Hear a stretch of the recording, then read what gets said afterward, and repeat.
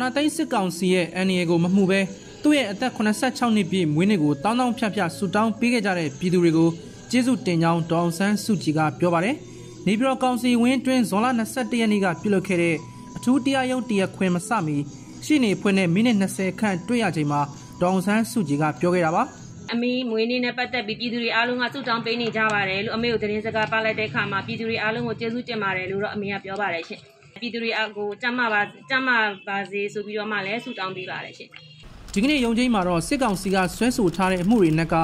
တဘာဝဘေးအန္တရာယ်စီမံခန့်ခွဲမှုဆိုင်ရာဥပဒေဆက်သွယ်ရေးဥပဒေပို့ကုန်သွင်းကုန်ဥပဒေတို့နဲ့ဆွဲဆိုထားတဲ့အမှုတွေကို၃နာရီနီးပါးစစ်ဆေးခဲ့တယ်လို့ဒေါ်မင်းမင်းစိုးကပြောပါတယ်ရခွင်ကို10နာရီနည်းနည်းစွန်းစွန်းလေးမှာတရခွင်ကိုစပါတယ်ရှင် ပထမဆဆချင်းတရားခွင်မှာဟိုရာဇဝတ်ကြီးမှုမှ36မြင်းဆောင်2021နဲ့ဆွဲဆိုထားတဲ့တဘာဝဘေးအန္တရာယ်ဆိုင်ရာစီမံခန့်ခွဲမှုဥပဒေပုံမှန်25နဲ့ဥဝင်းမြင့်ကိုဆွဲဆိုထားတဲ့အမှုပါအဲ့ဒီအမှုရဲ့တရားလိုပြသက်သေဖြစ်တဲ့ဒူရဲအုပ်လိုင်ဝင်းကိုစစ်ပါတယ်ရှင်ကျမတို့ဒီအဓိကစစ်မေးခြင်းရောပြန်လှန်စစ်မေးခြင်းရောပြီးပါတယ်ရှင်17နာရီခွဲလောက်မှာပြီးပါတယ်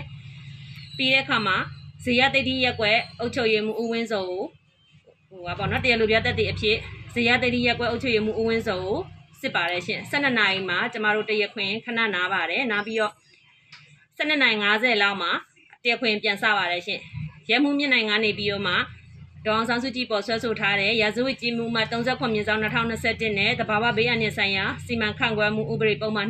25အမှုနဲ့ပတ်သက်ပြီးတော့တရလိုပြသက်တည်ဒုရဲအုပ်လှန်ဝင်းကိုပဲကျမတို့ အဓိကစစ်မေးချက်ကောပြန်လည်စစ်မေးချက်ကောစစ်ပြီးပါတယ်ရှင်2နာရီ45မိနစ်ထိစစ်ပါတယ်ရှင်မနက်ဖြန်ဇွန်လ22ရက်နေ့မှာတော့ဒေါန်ဆန်းစုကြည်ဥဝင်းမြင့်နဲ့နေပြည်တော်ကောင်စီဥက္ကဋ္ဌဒေါက်တာမျိုးအောင်တို့ကိုထပ်မံစစ်ဆေးမယ်လို့သိရပါတယ်အဆိုပါနိုင်ငံတော်အကြီးအကဲ၃ဦးစလုံးကိုစစ်ကောင်စီကနိုင်ငံတော်မတည်မငြိမ်ဖြစ်စေရန်လှုံ့ဆော်မှုဆိုင်ရာ